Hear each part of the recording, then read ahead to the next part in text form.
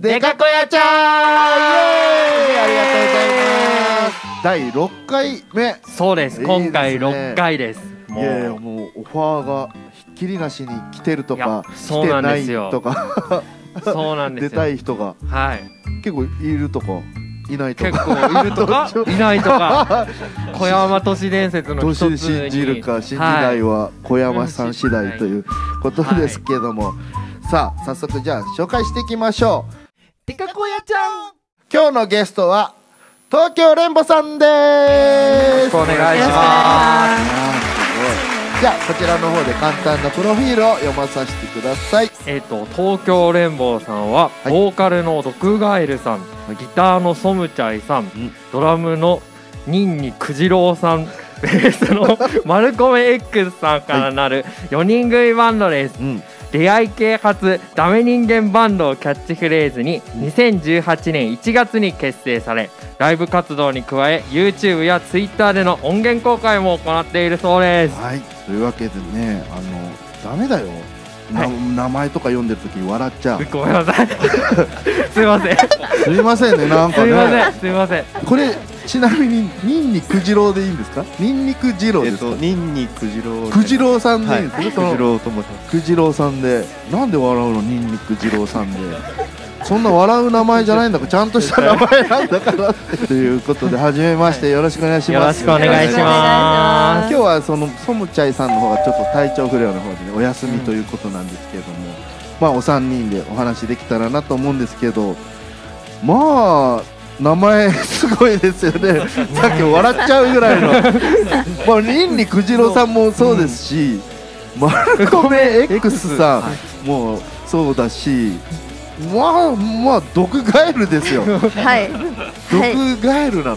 なんで、これがですうね、ん。すはい。えっ、と高校生の時に、え？はい、そんな歴、え毒ガエル歴そうなんで長いのかな？す。もえ？う本当に本名より呼ばれるドクちゃんって呼ばれる方がもうすぐ長くなるぐらいな？そう長い。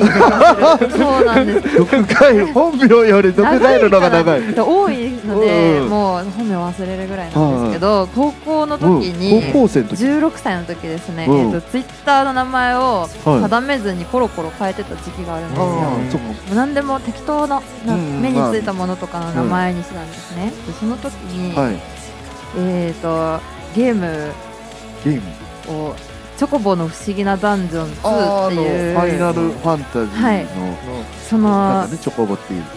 プレステ2のあの鳥ダ鳥黄色い 黄色い黄黄色い鳥のね チョコボ可愛らしい。うん。黄色い鳥でうん。ダンジョンダンジョンを探検するというゲームでムのね、その敵のキャラクターに、うん。あのポイゾネストードっていうのが出てきたんですよ。うん、ポイゾネスそうトトード。トード。かっこいいなずらっと思ってあじゃあ次のツイッターの名前これにしようって思って、うん。でその名前のまんまあのとあるオフ会みたいなのに参加したんですね、その時にいらっしゃった方が、うん。ポイゾネストードさん呼びづらいから毒ガエルでいいって言われて でそれでその時はもうその日だけぐらいだと思ってたんで、あうん。はいじゃあはい毒ガエルです。よろしくお願いしますって言ったの言ったのが最初で もはう今でも毒ガエルもう10年かそこからそうやばい。そこからもうが毒ガエル。はい。毒ガエル人生がない。10年。ポイゾネストトードっていうのはカエルのキャラクターなんですそうですね。あの毒ガエル直訳しあて毒ガエル。毒ガエル。ちなみにその前の1個前の名前が、うん。あの粉塵爆発だったので。でかこやちゃんワルコメ X さんはどういうあ、なんか坊主だったんですけど、ずっと。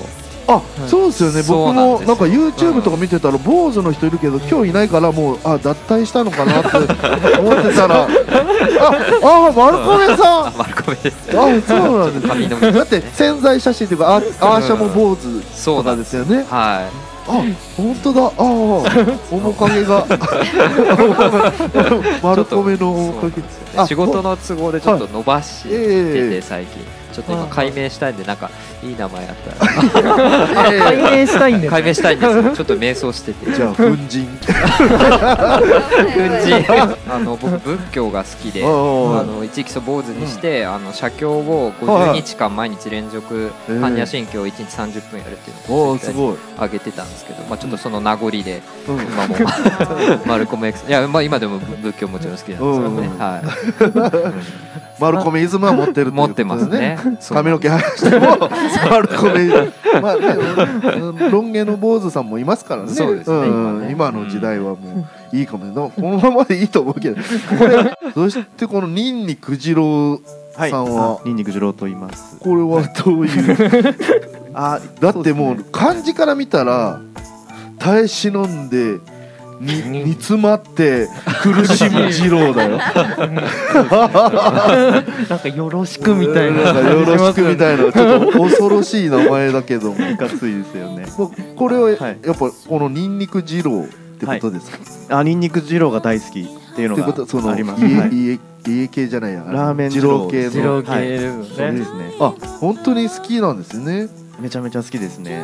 週6ぐらい。食べるんですけど。毎日。えでも収録え三食じゃではないですよねあさすがにね。そうですね。一日まあ一一食日一食は食べないとちょっと、一日一食その二郎だけ食べてあうん。他は何も食べないっていう生活え？やばい。一食一食逆にあと一日何食べてんだろうってなるよね。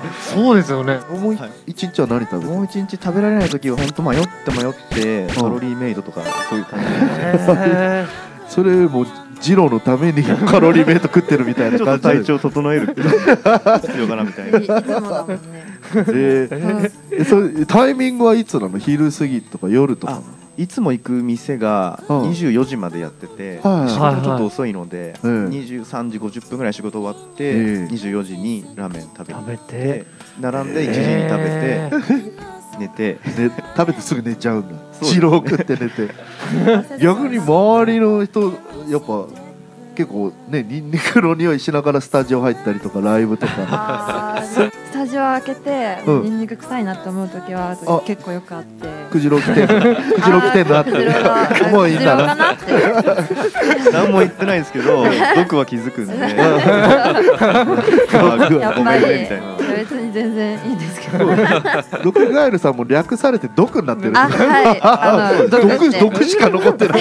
そうなんですよ。カエルだとまだ可愛さがあるかもしれないけど。もうカエル好きなわけじゃなくてそのポイゾネストードがかっこよかっただけなんで。かっこいいと思ってつけてそうでカエル大好きみたいなうん。思われがちなんですけど 別にあの普通に好きか嫌いかで言ったら好きぐらいなので。だから別にファンの人がケロケロケロピとか持ってきても別にそうそうそうないってことね。あそうなんですよ。かっこいいかっこいいカエルだったら嬉しいね。かっこいい。ポイゾネストードのグッズがもしあったらちょっと大きい声出すかもしれないんですけどあ普通のカエルのキャラクターのグッズだと別におのあでも嬉しいなってまあまあありがたいけど。そう考えてくれたんだなってのは思います、思うけど この名前になってからそう、えっと、カエルグッズ増えたのはありますね、いただき物 やっぱそうだよね。はい。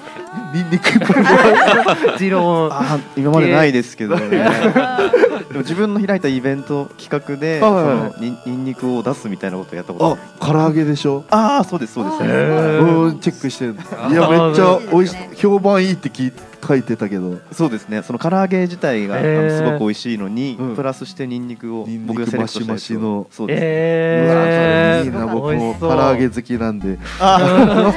そうですよねえー。そう写経用グッズとかもらうの？もうあんまもらい物はないですけどちょっとやばそうだなっていう人が結構話しかけてきたりはするうん。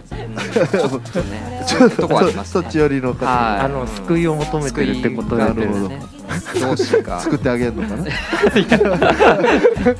ょっと共に悩む感じになっちゃううん。でそのララーメンとかそのまあ匂いとかしたら周りの人は嫌なもんなのいやもう慣れちゃって私自身もすごい食べるのでニンニク入りのジロああそうなの、はい、もう彼のせいであハマってしあそうえ影響受けて。はい、もう絶対ハマらないって思ってたんでだっすけど。てでもあんま女の子が食べる量量もすごいしニンニクだし。普通に生きてたら絶対食べることなかったと思います、メンバーにいるから、メンバーがメンバーにニンニク二郎がいたらうん、やっぱりちょっと。ちょっとねしかまあもすごいずっと食べてるし、そうエゴサーチすると、うん。彼が上げたツイうんッターで東京連邦って検索すると、彼のアカウントメインに東京連邦って入ってるんで、うん。もうラーメンの写真二郎の写真ちょっと邪魔しないでよ。東京連邦もっと売っていかないと。ララーメン屋さんの名前かなってなっちゃうじゃない。あれはあれでちょっと好評なあんでそう。あれはあれで本当にあのちょっとあもう一本筋が通ってるっていうかあのすごいもう貫いてるのでそれはラーメンのところでやったらいいんじゃない？東京連邦でやる。ラーメンアカウント作った方がいいですよね。アカウント。分けるってありかももういいでしょ。もうもういい映画小屋ちゃこちら小山さんとかを使ったことあるんですか？そうですね。はい。もう2年か3年ぐらいもおうとかなお世話になってますね。あああもう小山さん本当に小山さん大好きで。多いんだよな。ゲ,、まあ、ゲストの人ね小山さんでやってる方声かけたりもありますけど小山愛が強いんだよね みんな。本当に小山さんねもうみんな大好きでもうえ。今小山さんについてのメリットみたいのをちょっと上げてみたんですけど数えきれないぐらい。上がっちゃって分析したの？分析ちょっとしたんでちょっと言ってもいいですか？おお本当？にあ発表？びっくり。おやばいそれはこう写経じゃないんですこれこういうので書いてないん小山さん一番やっぱではい。店員さんが優しいっていうところうが好きですね。嬉しいですね。本当にね親切だし話しやすいし、はうん、もう本当に大好き あとそれはい。安いですよ、いあまあそれは助かりますよね。そうそう本当うん。にやっぱバンドマンお金ない人多分多いと思うんで、うん。うん。ほそこはもう本当にや優しいなってバンドマンにうん。思いますね。で機材ももちろんはよいちゃんと。いと思ってて、はい。でレコーディングもここで結構あら。やらせてもらってるんですよ。はい。あ結構ここで撮ってる曲多いですね。あー他にもあるんですかメリット。あそうです。もう終わりでしょさすがに。いやいやいやいやいやえまだあるの？すげえ。まだバンドそうですみたいでねちなみに、はい。ああと何個ぐらいある？あまりにもこれ続くようだったら1時間ぐらい言われても。ポンポンポンとじゃあそそれ後でまとめまとめてメールを送っといてください。佐藤君の個人的写経してちそうょっとアンケートを参考に。うん機材レンタルを、あの無料でしてくれてるんですよ。あ僕もそれ思った。そうですよね。普通なまあレンタル料ね,ねな、1時間ないか。100円とか200円とかギターとかいろいろかかると思うんですけども無料で貸してくれるのがこううん。手ぶらで来れるめっちゃああなるほど。あまあなんかちょっと都合悪いとこあったら来てくださいね。ああそれはダメ。ですそれは切らせませんそれは小山をあと駅近だしあ確かにネットで予約できるし。ああね今の時代もそれぐらい助かりますよね。ああ空いてんだとか確認もできるし。うん見ながらできるし、うん。駐輪場あるし飲み物めっちゃ充実してるし。あと配信ライブですねまあ今日もやらせてもらってそうそうそう。そこら辺のなやっぱりこうバッチリ設備も整ってるし。えやったことは？あります。あります。ああ、はい。ここで？あります。えー、配信ライブやったことあんの？はいドクソムでやったよね。そうあのバンド編成じゃなくてあのあ。ドクソムっていうあの私とあのギターのソムちゃんとの二人編成ってういう、ん。そのそういう形態があって、そこでやらせていただきました。えー、あそのもうスタッフさんが基本準備は小山社長がお手伝いしてくださって。そこもそこも凄さじゃない。社長が動くって。このこの撮影も自社長めっちゃ動いてんだよ。僕だからいつも申し訳なくて 何も機材わかんないから座ってるけど社長とも佐藤君もだけどめちゃくちゃ動くから大丈夫かなと思って社長めっちゃ動くね。そうですよね。頭が上がらないあ小山さんがやってくれて。うん。えそうもう今日それはどっか残ってるんですか？YouTube とか。あそうですね。多分 YouTube に映像残ってるかな？残ってるはず上がってるよね。上がってる。じゃあぜひ見てください、今日この感謝だけ伝えられたの本当に良かった。ですあまあ普段東京連邦って名前で予約しない、うん。乗り友で予約してるんで。ああ乗り友そうそうそう。なんか悪いことした時に東京連邦って名前があるとなんかちょっとあんまり 悪いことできないな。悪いこと。する前提で話さないで。するつもりはないで。すてか頼朝なんだね。あそうだ。丸米丸米 X 丸米じゃないじゃあ解明した方がいいんじゃないですか？そうですね。丸米頼朝 X ミドルネーム。ミドルネームで。余計長くなっちゃう。なんかそのスタジオのルーティーンじゃないですけどなんかスタジオに入ってすることとか東京レンボさんで何かありますか？普段だと,、うん。えーとまあ、みんな先に入ってて私が入って、あのくじろうがうん。ドラム準備してるのを私が手伝って、あのシンバルスタンドをこう箱の中からこうやって出して、うん。であとシールド借りてきて刺して同期のに刺してみたいなのを結構あの最初バンド入りたての時は何も分かんなくて何もできなかったんですけど。あそうだよね。知らないとできないからね。触っちゃダメかなと思うし、うん。小山小山さん使うようになってうんからぐらいこうやってちょっとお手伝いを結構するようになりましたね。ドラムすごい準備がそうそうそうそう。多いのうんでペダルとかシンバルとかわかるよドラマーだからねわかるあ、そうだそうだった。そうだそうだ。ででなんかいやほんと全然わかんないそうなんだ大変なんだね僕はもうこれだけだからもうスネアスネアだけなんで全然準備ないですけど大変確かに位置も個人によって違うんですよね。あーまさにそうですね。本当細かくちょうん。一番時間がかかっちゃうんうん。でそこちょっと協力しながら。ギターとベースもあのセッティングとかあるし、うん。私が必然的に手が空いてるんで。そうか。それのお手伝いできるようになるまではあの、うん。メイクとかしてましたね。大きいですよ。う んやることないなくて。ス、タジオでもちゃんとメイクするんだ。前 はまあ動そうだ画ったかも回すかも。しれないしみたいなもある。やまあなんかあの、うん。スタジオで練習するときに鏡に映ってる自分 あがちょっと可愛い方がテンションが上がって、あのやりやすいなって思ったので あのすっぴん、うん。すっぴんで裸眼で来てた時期もあったんですけど、おしゃれしてきた方が 練習も楽しいって分いかったので。やでもそれ大事かもしれな。い、はでかこやちゃん。YouTube で見させてもらったんですけど、はい。あれいいですね。あの今年の振り返りみたいな。あ今年の東京連邦みたいなんあーで総集編みたいな、はい。あれ分かりやすかったですねなんかまあ分かりやすいっていうかめめちゃくちゃなんだよ。俺もう酔っ払ってとかそういうもう道路で寝てたりとか。恥ずかしいなんかもう恥ずかしい。ライブ中に喧嘩したりとか。首かかれてたり。あなんかあれは誰が作ってんの？あれはまあ僕がこううん。みんなからこう送られてきたちょっうん。と動画をまとめて一応年に一で出したり出さなかったりしいやてまー面白いね、ねあれなんかなんとなくそのバンドの空気感もわかるしまあメンバーからしたらちょっとや もう消してくれぐらいな感じかもしれない。また思い出したよみたいな感じかもしれないけど。恥ずかしい思い出も。恥ずかしい。うんでもまあまあ PV と他にそういうのも見れるしすごいいいなと思って。あのさっき紹介文読んでて、はい。出会い系初っていう話だったじゃないですか。ーそう。ね確かに。どうやって出会ったんですかっていう出会い系初って。出会い系初ってどどういうこと？ってどう。いう確かにね。どういうことなの？あのータップルっていうこれまあ言ったらいいかわかんないですけど。あ全然大丈夫です。あのはい。アプリがあって。それ僕がやってたんですけど。まあやってたんですけどってそのトーンで言うのも恥ずかしいよね。出出会い系みたいなことだ出よね。会い系です。マッチングアプリ。だよね。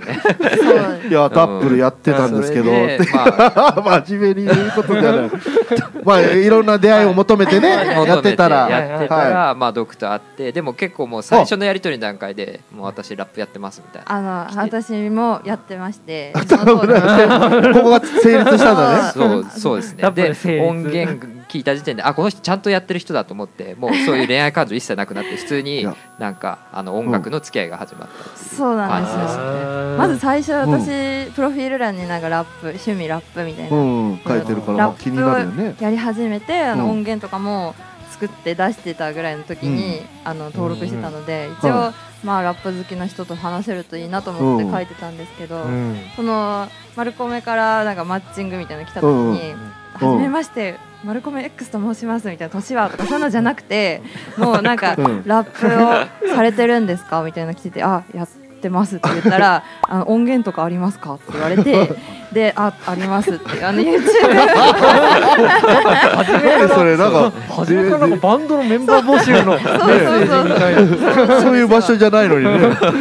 えなんかかいいですねとか言って。そういうのじゃなくてじゃなくそう来ててあのよければもうイベント出ませんかみたいな言われて。え？ええその時ブッキング僕やってて。そうそう。えー。すごい。すごいちょっと恋しようと思った気持ちがもうもうなくなるぐらいの、はいスイッチが切り替ええたー感じです。もうそっからあの、うん。ツイッターであのバーのアカウント、はいそのイベントのアカウントでつながっちゃったので、はい私も特に出会い系で出会ったとかはもう忘れてて、はいで、何度かブッキングをいただいて、で都合がややっと会った時に、うん。あのライブさせていただくっていうので、うん。初めて会ったんですよ対面で。あああなるほど「あ丸米です」みたいな「初めまして」って言われて「あそういえばこの人そういえばタップルで知り合ったんだっけ忘れてた」他の方もそういう感じなんですか？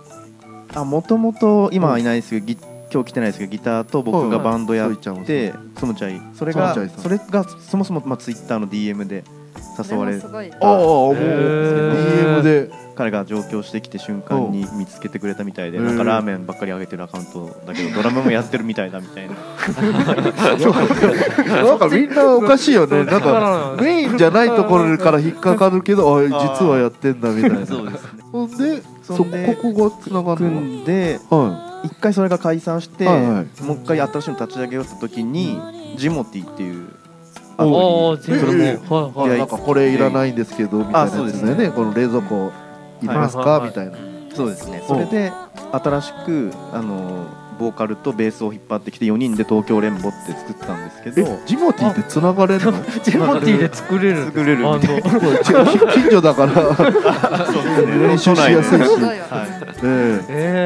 あそれが最初の東京連そう合ですね。4人ではいやってでボーカルがうん。ドクとうん。タップルでまたつながってて、タップルそそうなこんですよ。そのその元いたボーカルとうん。私がタップルで普通にそれはもう普通の 普通の。笑っちゃった。普通の。普通に。まあ刺します刺しますね。やって、はい。で仲良くなって、ええ。ツイッターでつながってたんですね、はうん。でなんかバンドやってるみたいな感じのツイート見ててこのライブ行くよとかはあの、そういう話してていうん。でなんかスタジオに遊びに来ない？みたいな。あのバンドやりたいみたいなツイートしたらあのなんかこのうちのバンドでちょっと遊び来たらいいよみたいな言われて行ったんですよねうんそれが最初だったかな、うんそう遊びに行ったえ行って仲良くなって行ってどういうわけか入ることになって、その辺ちょっとあの そこら辺がなんとなくなそう入れてくれたリーダーが本人が今日いないから。もうえええそうか。ソムチャイさんが。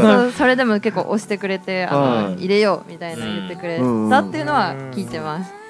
俺もモールコメさんは？丸米まだ。この丸米はまた別枠なんですよ。時間、うん。また別なんだ。うん5人だから5人でやっはいそこで入って。ででもビギターあベースとうん。ボー男ボーカルがいたのが抜けちゃってそう。3人になっちゃってそう。どうしようってなった時にその裏でさっき話した時系列で行われていた出会いもあったそからそこからつながってそう。いうことですね。入ったってこと？だはい。あなるほど。東京レンボさんがもう出来上がってて活動しててはい。はい。そのさっきの最初のそのタップル事件事件じゃないか。出会いがあって。あなるほど。デカ小屋ちゃん。さあ今日のあの曲収録させてもらったんですけどこの「ナイトクルージング」ですはい。はい。はい、この曲のことを聞いていきたいんですけどこれ曲とかはほぼソムチャイさんが作って曲作曲してって感じですか？そうですね。完全に作詞作曲曲ソムチャイさんの。はい。じゃあ聞けませんね。この曲はどういう曲なんですか？まあ私の感想になっちゃうんですけどやっぱりまあね。2番の私のパートの歌詞うん。も染めちゃいが書いてるんですけど、そこを歌う時になんかうん。すごいあのその後パチンコから帰ってきた父が次の日初めてファミレスに連れて行ってくれましたっていううん。ところが別にそんな経験はしたことないんですけどああないんですね。こう湧き立つようなそのうん。嬉しさみたいなのがすごい自然と出てきて、あいい歌詞すごいいい歌詞だなって思いながら、なんかすごい。いつも、ね。うんすっごい嬉しいって思いながら歌ってるんですよね、うん。あの部分は絶対。こういう話あんましたことないですよね。あないかも。なんかこれ見ていや違う違う違うって言われるかもしれない。本人がどう思うかまあどうだろう。まあその感じ方は個人それぞれあってもいいとは思いますけどまあ。まあなんか具体的には全然気持ちとかわからないんですけど、うんそうなんとなくその歌ってる人物っていうかその物語の中の人の気持ちがそれぞれでなんかうん。分かるみたいな感じがあるんじゃないかなと思って、ねえ。総務ちゃいさん。いろいろ聞きたいなこれ。そうだな。でも歌詞も結構この生活感あふれるっていうか、うん。リアルな目線に落としてるのにこうドクガエルさんが歌うと本当にドクガエルさんの経験歌ってるように聞こえるからそう。すごいなと思って。多分めちゃくちゃ合うんだと思う。うん。僕も完全に歌詞はドクガエルさんが書いてるのかなぐらいなそうなんですよ。僕もそう思ってただから。それはすごいなっていつもあの、うん。パート振ってくれる2人で歌ってる曲なんですけど、あの振ってくれたパートがやっぱり私が歌うように作ってあるんだなって思って、すごい。えで今日ラップ歌ってたところはサムチャイさんが歌ってるんですかそうですね。普段は。そめちゃいが歌ってますね。すあいやあ初めてぐらいですか？そんなことはない。何回かやったことは。いや今日は初めて。こそう。のパートでやりました。そうめちゃめちゃレアそう。あそうだったんですバスケで。ふ普段はソムチャイさんとドドクさんが歌ってて、はいで僕ベース弾いて今日はもうその急にやることになって。でもそんなやっつけな感じは見えなかった。よあすすごい。あよかったよかった。ありがとうございます。す わかんない。ソムチャイさんからしたらあれ違うんだよなみたいな感じあるかもしれないけどね。あの跳ね方じゃないんだよえー、あじゃあなんか逆に貴重な。だかそうですね。ね。うん。貴重だ。素敵らこのねあのデカ小屋ちゃんのそのライブシーンも見てそのほ本編というか本当の4人の、ね、ナイトクルージング見て、いやいろんなナイトクルージングが楽しめんじゃないでしょうか、うん。これは。デカ小屋ちゃん。最近その曲で結構こん今回のまあラップって言えばラップなのかな。入ってますね。最初のイメージ結構バンドうん。サウンドでわーっていう感じのイメージだったんですけど最近 YouTube に上げてるのなんかラップバトルみたいなああー。バイクリレーか。マイクリレー。最近ねずっとラップラブーム。ップばっかりうん毎週。バンド内ラップブームがすごく。てバンド内ラップブームはいなんかきっかけがあったのかな。それもあのギターがうん。あのずっとラップできるようになりたいなりたいってずっと言ってたんですね。あの、うん。最初何年2年ぐらい前から。うんずっとやってて、で、まあ、彼練習してたみたいで、ええ。なんかちょっとできるようになったのが最近なのかわかんないけど。あであの形にして修行をしたいみたいな、あああなんか今修行中の V を上げてるんですね。修行マイクリレー毎週やって、私はサボってるんですけど。すごいサボってるんですけど。えー二人は解禁だもん解禁ずっと。26回今。すごいねえー、今度なんかフリースタイルスタジオ収録しましたよね。あー。もう佐藤君も頑張って、ね。店長もあの 社長も入れます、ね、社長もフリースタイルで。そうだ意外とディスられるのは弱いかもしれないです。ちょっとへこむんで。褒め褒め褒め合いながら。い。やもうただあのビートに合わせて会話するみたいな感じでねややっていくと修行になる、わもうあ私も。ともとラッパーだけどもう全部うん。全員に追い抜かされるなと思いながらみんな修行の成果がすごくて修行の成果が。毎週やるとすごい。ですうん上手になってる。サイファーとかできなかったんですけど、ん。この1回からあの何回まで重ねるごとにちょっとやっぱレベルアップが見えるんで。もうくじろぱすごいあの一番未経験なんですよ、うん。あの彼。あーラップもともとねあの、うん、丸米は結構なんかやってたり好きだったりしたけど、くじろだけ全くやってなかったのに全く何もまあ、全然最初からラッパーですよみたいなの。リリックもすごいし。じゃあくじろうさんバージョンナイトクルージングもあそれ聞ける日も来るかもしれない。ねどんどんメンバーのラップ入ってる。ドラムやりながらだから大変かそもしれはすごいな。あとまあ本当見どころ一一番一番の見どころはやっぱうんトムチャイのラップがうん。変わり種も多いし、うん。すごい本人いないとこでなんか褒めるっていうのもあれな感恥ずかしくなっちゃうんですけど、すごいなといつも思いながら、うん毎週トラックもちゃんと作ってそうトラックも作ってるし。そうだよね。うん。そう。そうですよね。うん。毎週そうだ。うん。すごいな。作ってる様子も YouTube 上がってってね。あーあのロジックとかでえうんうん。あ使ってんなっていう。やっぱり彼勉強もすごいするしすごい。ますますこれからもっともっと進化してってねバンドサウンドとそっちのラップも絡めてどんどん良くなっていく感じがして、うん。ちょちょっと楽しみですね。えー、今日は本当ありがとうございますありがとうございましたあ。りがとうございましたありがとうございましたソムチャイさんお待ちしております。以上デカコヤちゃんでした。デカ小屋ちゃん最後にはい。お決まりのやってくんないんじゃない？か。おあクジロウ。これですよねクジロウ。もうスタジオ小山ということで最後みんなにこうこう体で漢字の章ですね。こう山山っていうのをやろうって言ってるんですけど。やりたくなかったら全然大丈夫なんで。ということで。やらせてください。やります。いやー。やってくれますか？ソムチャイさんやんないんじゃない？こういうのどう？スタジオって言ったらここう山ーっでてお別れしたいと思いますんで、はい。よかったらご一緒にテンションはお任せします。じゃあ行きましょう、はいスタジオ。小山ありがとうございました。東京連覇さんでした。でかこやちゃん。